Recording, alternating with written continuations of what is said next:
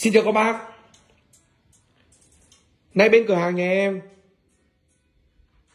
Sẽ giới thiệu Và báo giá Cho các bác tham khảo. Loa rời Bát 40 Và bát 50 giờ CF Đít lồi nhựa xanh.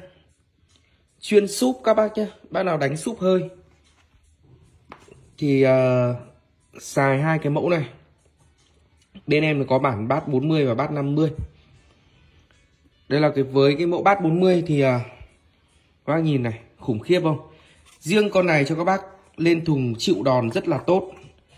Đánh bao bền cho các bác. Sụp đánh uy lực. Chuyên lắp súp hơi cho các bác đi sự kiện lắp phòng hát. Hoặc không gian nhà bác nào rộng lớn.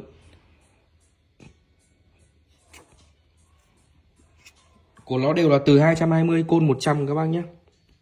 2 4 6 cái lỗ tản nhiệt từ phần côn ra. Vòng tròn nhựa xanh, toàn bộ hàng của em là hàng cao cấp loại 1 của Trung Quốc hết. Xương nhôm. Riêng mẫu bát bên em làm xương rất là cứng luôn các bác nhé. Đấy. đây là cái bản 40 các bác nhìn thấy chưa? Từ dày, kẹp lỗ bích thép màu trắng, những dòng loa mà xịn xịn ý từ rất dày và kẹp lỗ rất dày.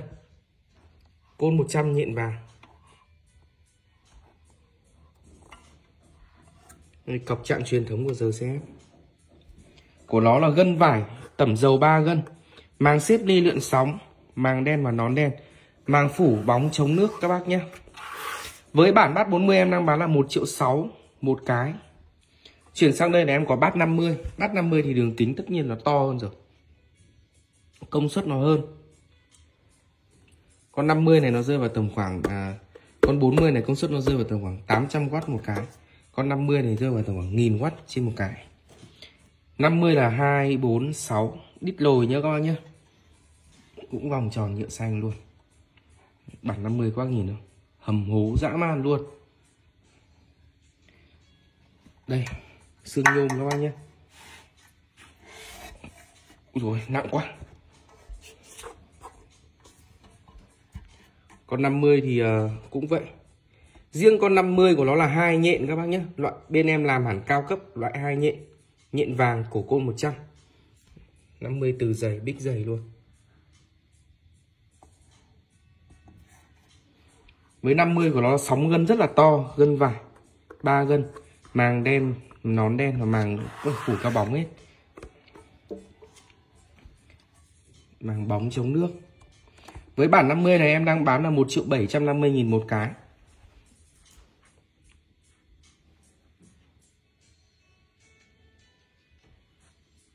Thôi nha em xin dừng video mua hàng các bác điện cho em vào số điện thoại 5815 và 72.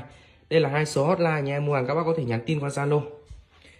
À, bác thợ nào mà lấy xỉ bát 40 bát 50 giờ xếp này thì liên hệ em nhấc máy điện về cho em lấy xỉ 5 10 đôi điện cho em giá xỉ bên em thì bao rẻ nhất Việt Nam. Rẻ nhất các sàn thương mại điện tử các bác nhé. Thôi nhớ hẹn gặp lại các bác ở video lần sau.